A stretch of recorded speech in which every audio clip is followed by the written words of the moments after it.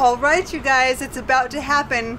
We're embarking on our maiden voyage. We're all fueled up and ready to go. I mean, the bus and us. We stopped for Subway sandwiches at the truck stop. Because, you know, we're truck stop life now. Did we ever look at um, to see how many miles it is to Colorado Springs from here?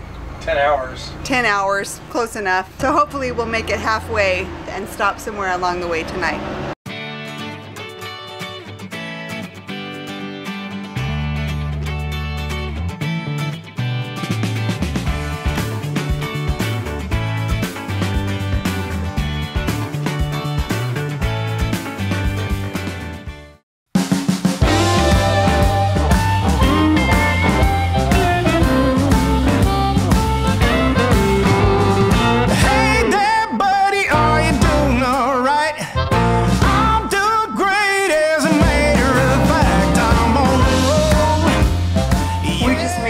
Our spot for camping for the night, and guess what Mike's about to do? I'm having a margarita. Straight out the bottle. it doesn't get more redneck than that. It was a long drive, man. Long drive. You did a good job. You got us here. Excellent work, my dear. Thank you, Mahomes.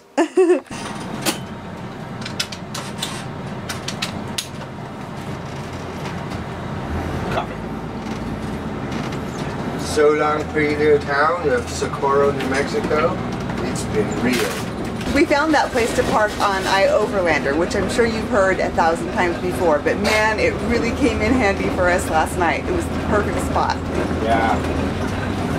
I'm gonna slow it down so we don't. We gotta clean the solar panels real quick here. Right? Give them a little dust off. There it is. Solar sweep. Yep.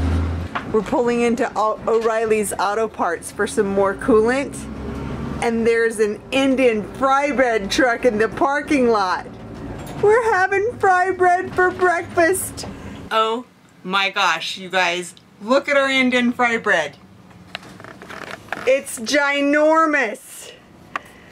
Like we could So have big. we could have just split one. I didn't know that they were going to be the size of a freaking pizza. No, it is. This is going to be delicious. It is. Oh, and messy too. How's it taste? That's delicious. Excellent. Oh, it was good. I don't think I've ever had this before. Really? Mm-hmm. Oh yeah. Street vendors rule, you guys. When we get back from Colorado, we're gonna have to go park at Indian Fry Bread Rock. This is called Bread Rock. What? Indian Bread Rock. Oh, Indian Bread It's not Rock. fried Bread Rock. It's not fried, it's like raw Indian bread. Petrified Indian bread, I It might, guess. it might be cooked Indian Bread raw. more. Uh,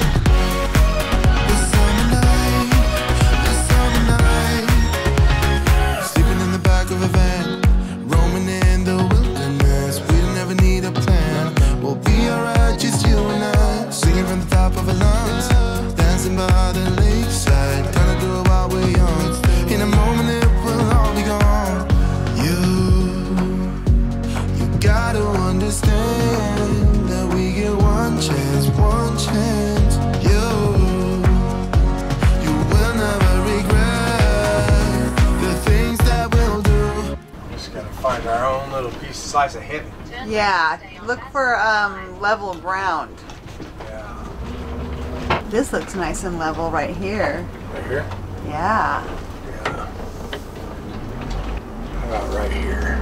Works for me.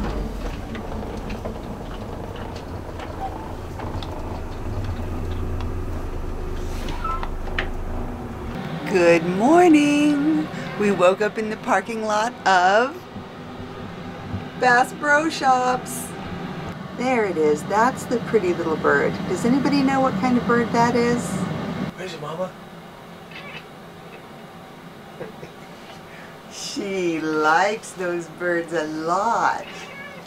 She wants one of her very own. Oh, she wants a pet to chew on? Mm-hmm. It's so She will hug it and squeeze it and love it and call it her own. uh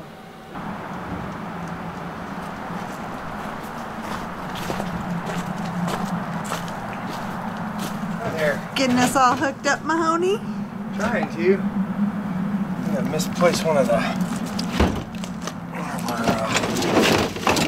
uh, connectors. We need another big hose. This is our first time hooking up at an RV park.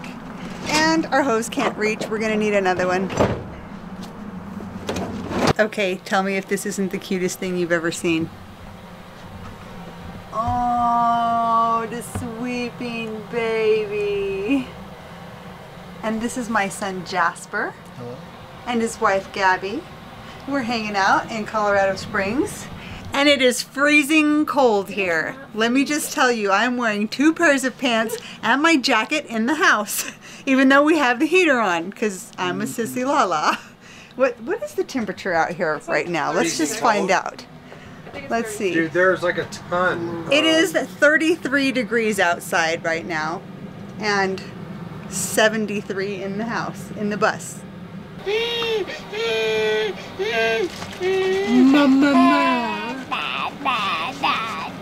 Yeah. Who's You gonna some have Baba? a- He totally handles it all by himself. Sometimes. We just, we like to let him try. There we go. And now up. Tip it up. Up.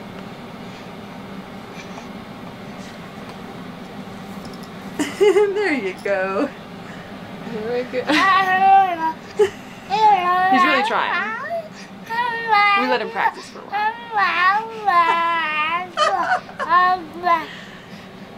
You're so funny, Atreus.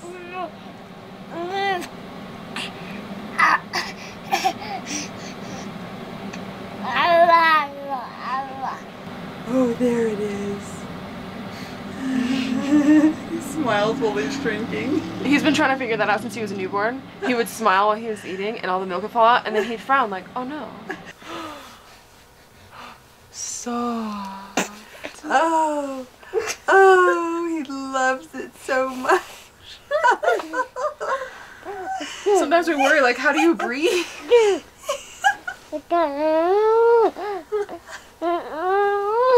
Oh, Atreus, you're so funny. You are a funny boy. So, so.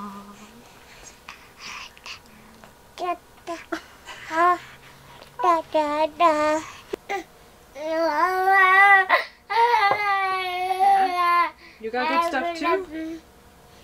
I'm jealous. What's happening?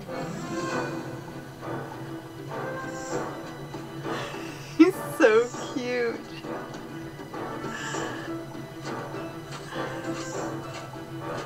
We love the movies, huh, buddy? Let's go down. I can get used to a view like this. Hold on. Yep. I'm used to it. Guys, I want a castle.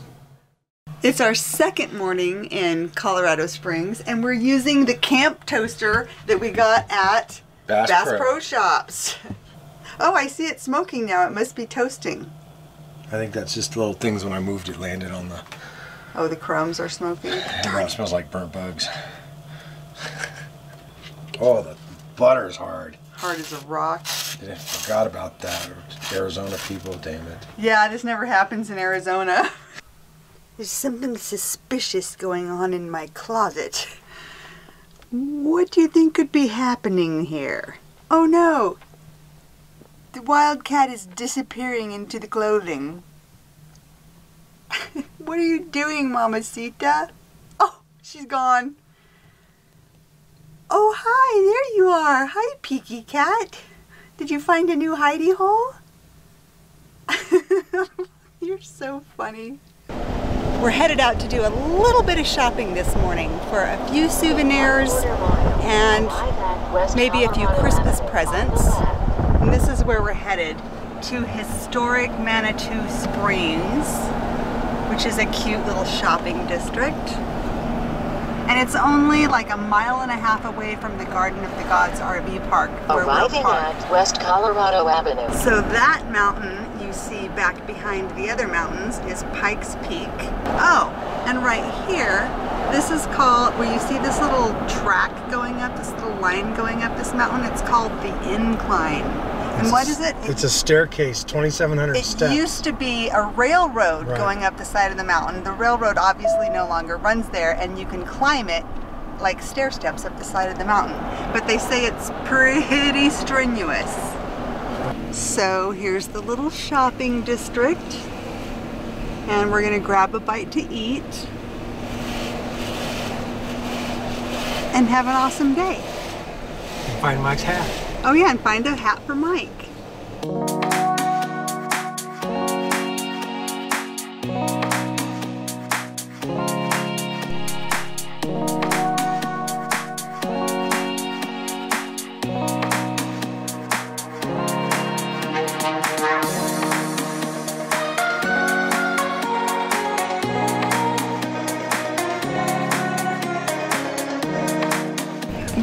Shopping in, but now we're headed um, to another different shopping district. What's the other one called? So this is Manitou Springs. We're going down to uh, Old Colorado City. Look at all these chairs. Those aren't wood slats, you guys. They're made out of skis.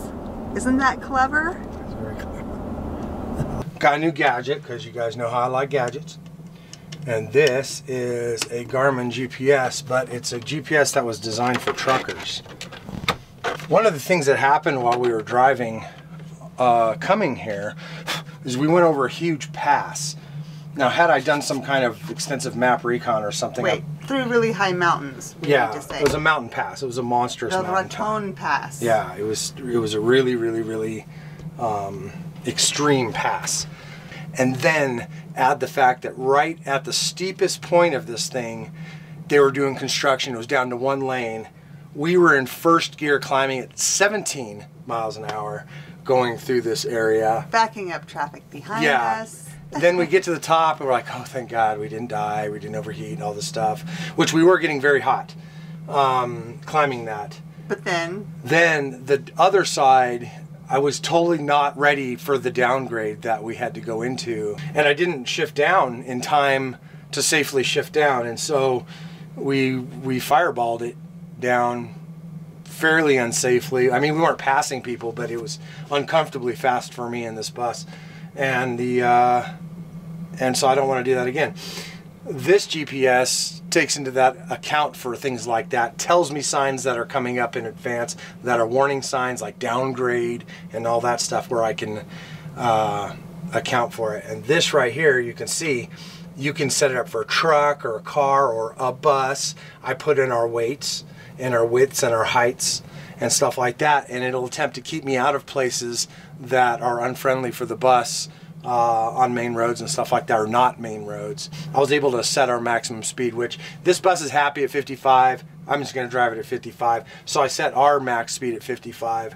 If we're doing better than 55, we'll beat the time, but it will do the time based on the vehicle that we choose. Yeah. So this one here, so I choose that one, and now I can I can navigate. So it's really it's cool, and it ha- actually has a drive cam on it too. So it'll uh, sense accidents and record all sorts of uh, uh, things that might happen to us en route, or if something interesting happens, I can push a button and bring up the camera so we can, like, oh my God, that's a moose. cool. The Garden of the Gods. I haven't seen one god since we got here. She's right behind you.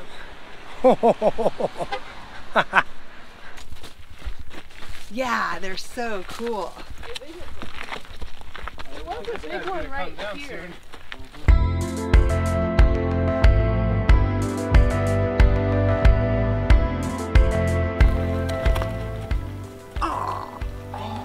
Lost a piece of bread. You monster. You're a A litter bird's gonna eat that. You're just gonna give some squirrel a big carb loading high.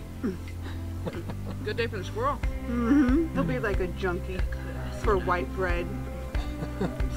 Like,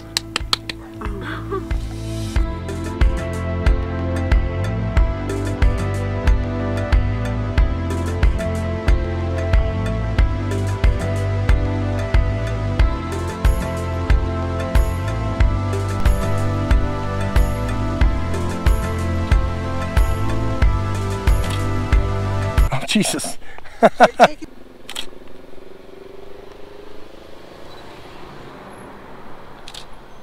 They're really good. This is the place we drove by, and I'm like, you should just drop me off right here.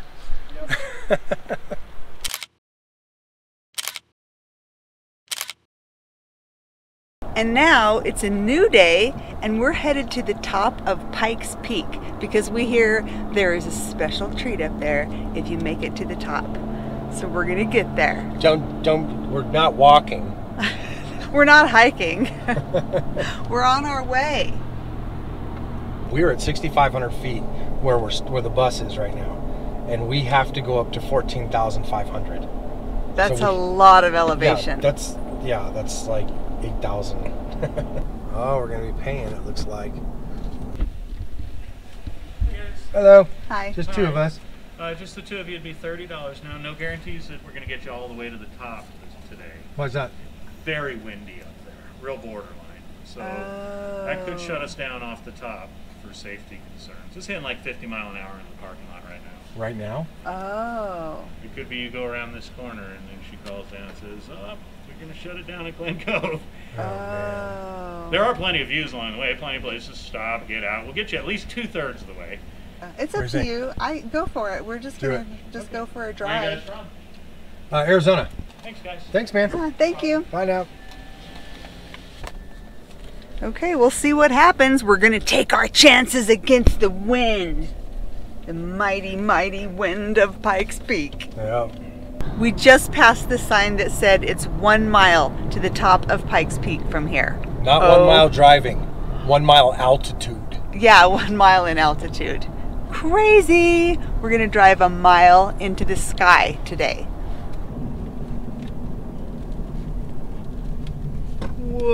Whoa! We just passed 11,500 feet elevation. And we're trying to figure out at what elevation the tree line. Here is. Yeah, I don't know if there's if it's just one elevation around the whole world where trees stop growing, That's what I was wondering too. or I'm gonna have to like Google that. So pretty. I think we're out of the trees now. I think we're above the tree line. Look at this ahead of us. It's nothing but barren rocks. Yeah. Wow. Wow, that's right. Oh my God. And all the trees are down below us. We're going to the top. This is crazy. Look at that. at so worth it. Like we're just gonna fall off the edge at any second. And it's still a very steep road. oh my road. gosh, this looks like freaking Mordor. Where's our elevation here? 14,115 feet. Nice. What? Highest I've ever been officially. Yep, me too.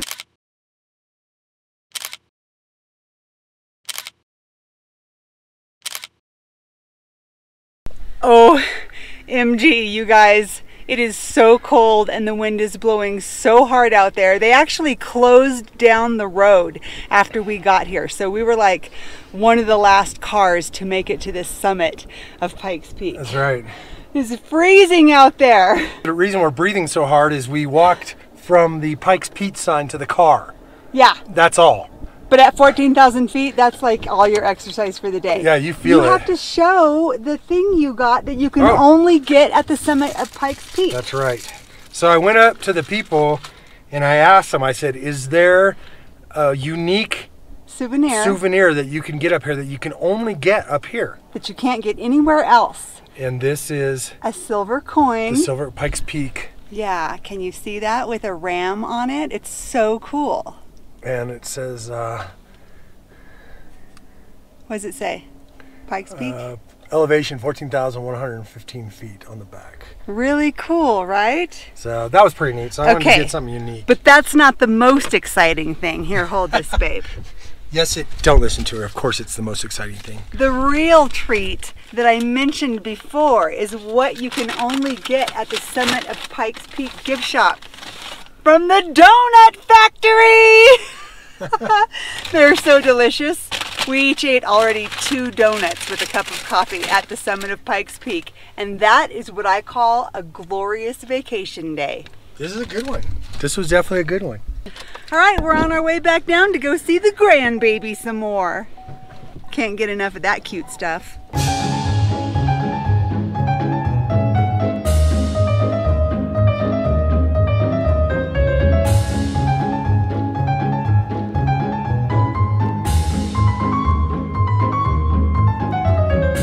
Somebody's playing games with his grandpa. Oh, oh, oh! I'm getting shot at by somebody. Oh, what happened? Oh. He's too active. You're so easy. What the heck? I know, this chair seems to be making it easy too. Good job, buddy. What are you boys doing in here? We're raiding. It's Red. What's going on? You're helping Daddy raid?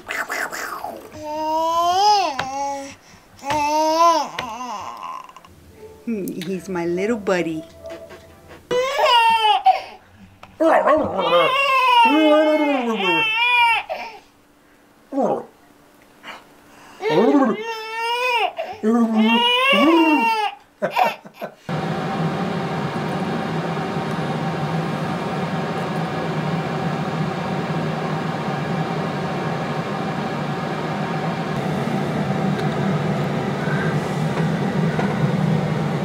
Baby,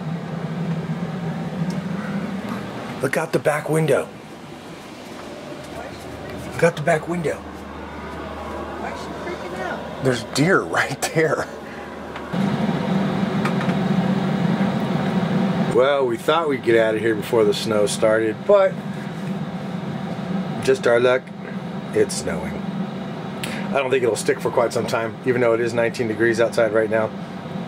And uh, with some wind, we still have to take the uh, rental truck back this morning. And uh, then we can get on the road and head south back to uh, Arizona. But uh, it's been an awesome trip.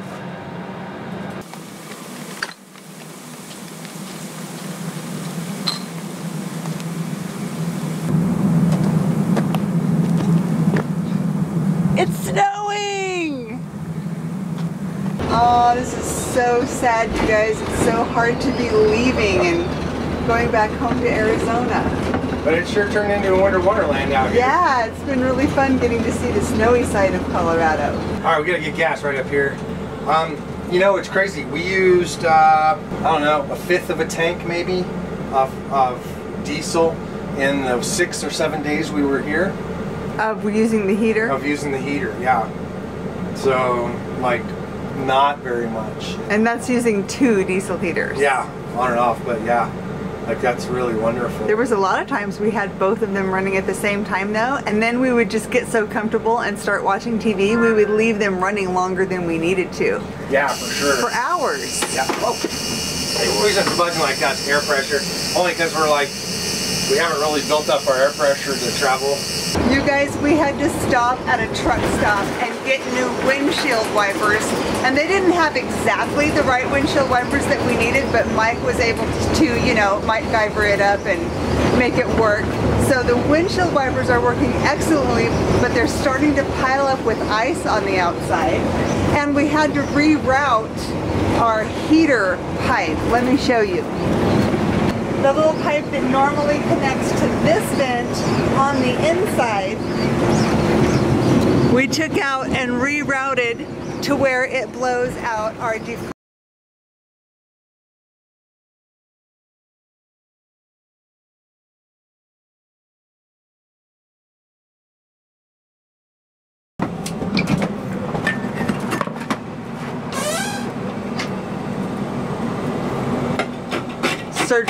procedure is about to begin. Oh yeah.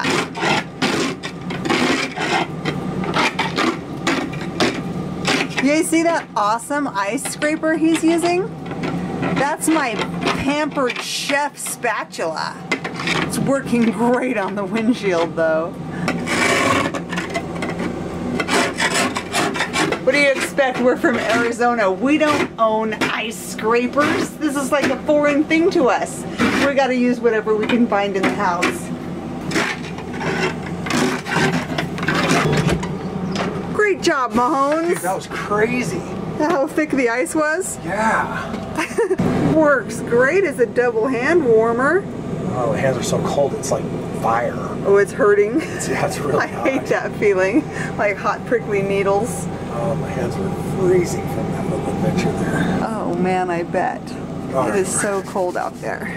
All these little red brick buildings, they're so cute. Really old bank building. Trinidad, Colorado. Ah, oh, Do you need me to hold your tea? maybe.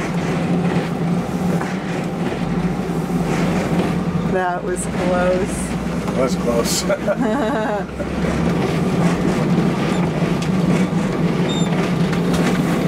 Put America right into here. Don't worry it, you'll move. I learned that driving to Saratoga. Oh my gosh, you guys, we stopped for gas in Trinidad, Colorado, and look what Mike spotted on our wheels. There's this crazy buildup of ice that has made the most spectacularly beautiful pattern. It's like these crazy Mad Max Beyond Thunderdome spikes. Isn't that insane? It's the craziest thing I've ever seen. Wow, let us know in the comments if you've ever seen anything like that before. I mean, there's icicles everywhere too. But uh, the thing in the wheels is pretty spectacular. So cool. Oh my gosh, it's so cold out here. I'm freezing, you guys. Look at that. One mile to the border. We didn't just go over like, there it is, the buzzard. We didn't just go over like, you know, a hill or something. This was a real mountain pass. Yeah, a treacherous mountain pass. Yeah. This is actually the Raton Pass. Yeah. If you look it up, it is steep for a, a bus. Yeah. Well, we made it to our final resting place for the night, and Mike is attempting to start a fire in our little wood burning stove for the first time.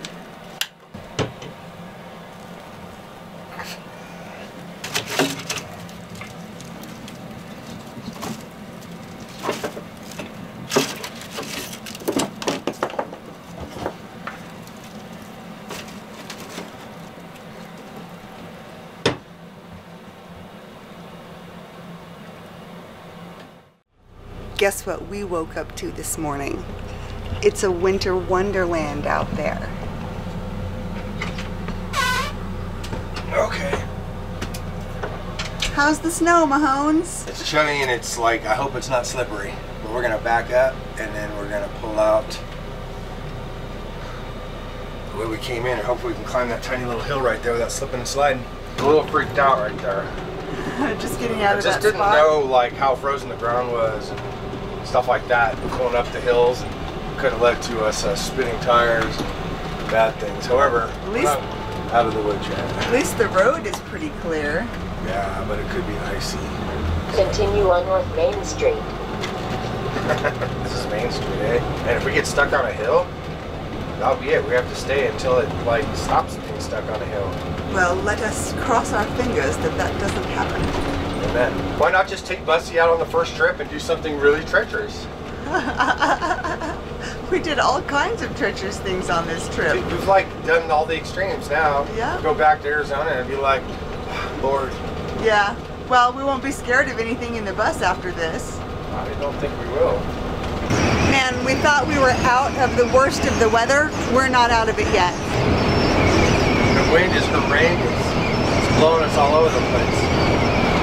You can see the drifts, the drifting snow across the road here. It starts getting cold in the bus when we're driving in this cold of weather. It's like the one diesel heater can't quite keep up with all the draftiness that's going on. Well, it's official, you guys. We brought home the Colorado snow to Arizona with us. How's it going out there, Mahones? Oh, It's going. About to continue. Come in and get out of the snow. Hey guys, This is absolutely the most epic ending to this spectacular adventure we've been on all week. we went all the way to Colorado, as you guys saw in the video, and it was stressful for me in some ways because just driving the bus for the first time. Yeah, only during the drive. Yeah, other than that, it was totally chill. Once we got there, it was easy peasy because we were in an RV park, obviously. So Right. And then coming home, just long drive days aren't fun. Everybody knows that. So, but uh, we drove through that crazy snowstorm that you saw today, and now it's 33 degrees outside, so only one degree above freezing for us Fahrenheit peoples. And there's nothing that could be better than having this actual fire in the fireplace when it's that cold outside. yeah, finally got to bust this thing out and use it, which is just totally cool. And it's nice and toasty in here now. That's it's- exactly the word I was just thinking. It's toasty. It feels awesome. Yeah, this thing's putting So, off a great, Yeah, great I'm amount gonna have to take off my jacket. I still have yeah, my jacket on It's hot. from earlier. So Um, but anyway, I guess um, that's where we're gonna leave you guys.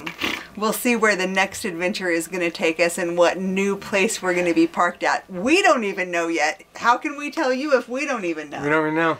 Just go So, find yeah. a spot. The adventures continue. Yes. Like, subscribe. And come back and Yeah. see us again next week. Go find us on Instagram if you want up to the date stuff, and uh, we'll see you guys in the next video. Love ya. Bye, guys. Bye bye. Cause I